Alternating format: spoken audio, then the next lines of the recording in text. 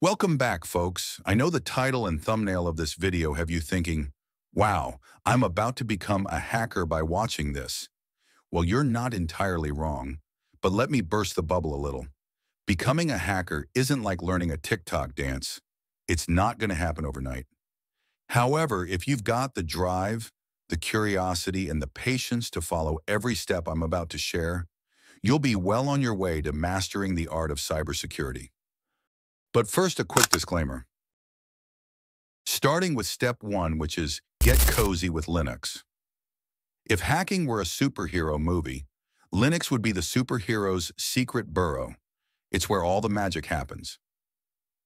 This open source operating system is your best friend when it comes to security and flexibility. As an ethical hacker, you'll need to speak fluent Linux because it's the go-to OS for hacking and cybersecurity.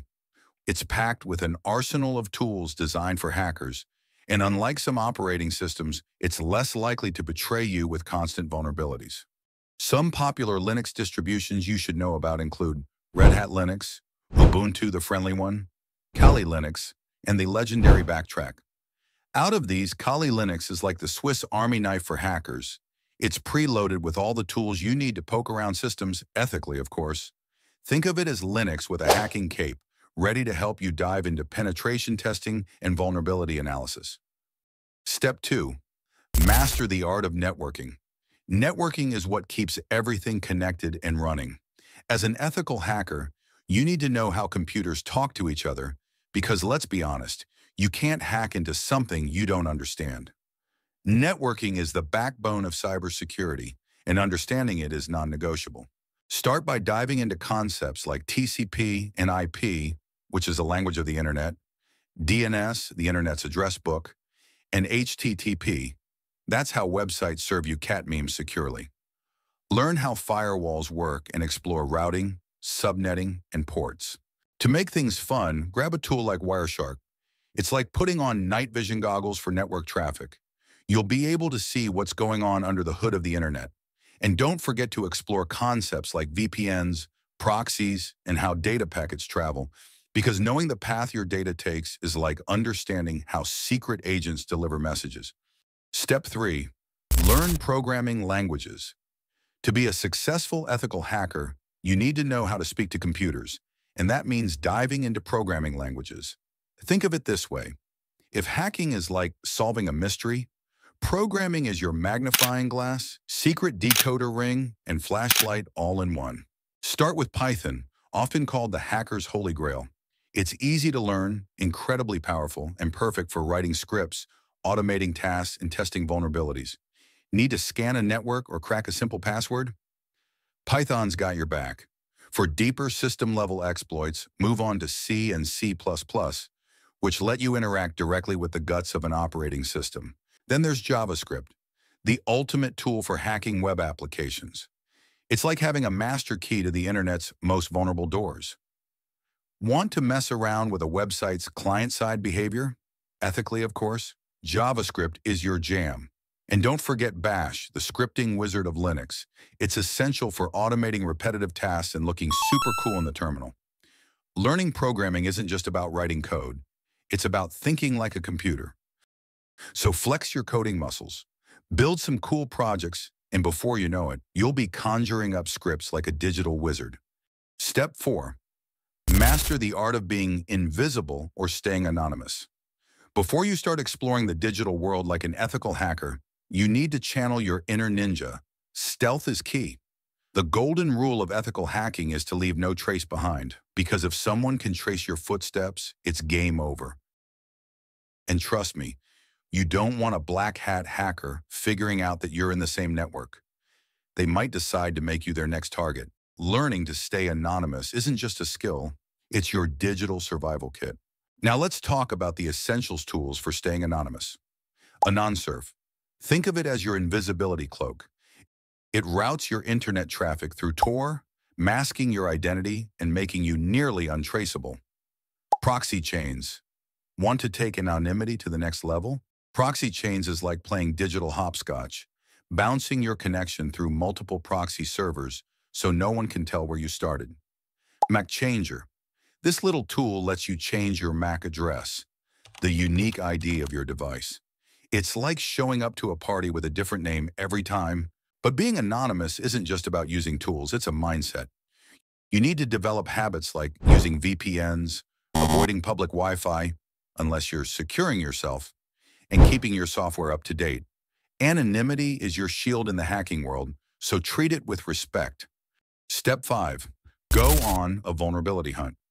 Every system has its weak spots. Vulnerabilities are like the cracks in a fortress wall. As an ethical hacker, your mission is to find these loopholes before someone with bad intentions does.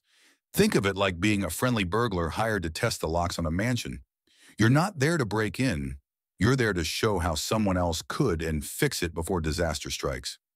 Start by learning how to scan systems and networks for these weaknesses. Some vulnerabilities can lead to security breaches, and your job is to sniff them out like a digital bloodhound. Once you get the hang of it, you can even write your own scripts to identify vulnerabilities. Because why not create your own toolkit of tricks? Here are some rockstar tools in Kali Linux that make vulnerability hunting fun. Nessus Vulnerability Scanner. This one's like a web detective. It scans web apps and systems, pointing out security flaws that scream, fix me. OpenVAS Vulnerability Scanner a network guardian that helps you identify weak points in connected devices. If there's a sneaky vulnerability on your network, OpenVAS will sniff it out. Nikto Vulnerability Scanner. Imagine a grumpy old inspector who won't stop pointing out flaws. Nikto scans web servers and gives you a long list of things to fix. Exploring vulnerabilities isn't just about finding problems. It's about understanding how those weaknesses could be exploited and most importantly, how to patch them.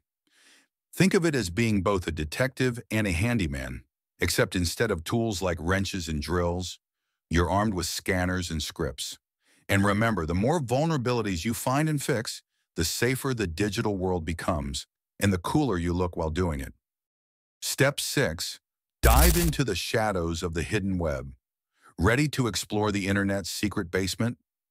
Welcome to the dark web, a hidden part of the internet that search engines can't see. It's like the backstage of a theater where the real action happens, but you need special permission or tools to get in. Ethical hackers need to understand how the dark web works, not to join the chaos, but to learn how to protect systems from those who do. To access this hidden layer, you'll need an anonymizing browser called Tor, the onion router. It's called that because it routes your traffic through layers of encryption like peeling an onion, except this onion won't make you cry. Once you're in, you'll find everything from secret forums and anonymous marketplaces to whistleblowing platforms and secure communications for journalists. Yes, the dark web has its legal and ethical uses too. But be warned, it's also a hotbed of shady activity. Criminals, black hat hackers, and cyber thugs lurk in its corners, so tread carefully. As an ethical hacker, your job isn't to participate in the dark web's mischief, but to understand its ecosystem. Think of the dark web as a digital jungle. It's fascinating, dangerous, and worth exploring only if you're prepared. So suit up, stay anonymous, and learn how to navigate this shadowy side of the internet. Just don't accidentally stumble into something weird. You can't unsee that. And that's a wrap, folks. Those were the six crucial steps to kickstart your journey as an ethical hacker. Remember, hacking isn't about breaking things. It's about securing them and looking cool while doing it. Now go sharpen your skills, practice like crazy, and maybe one day you'll be the superhero of cybersecurity. Until then, stay curious, stay ethical, and stay away from dodgy websites.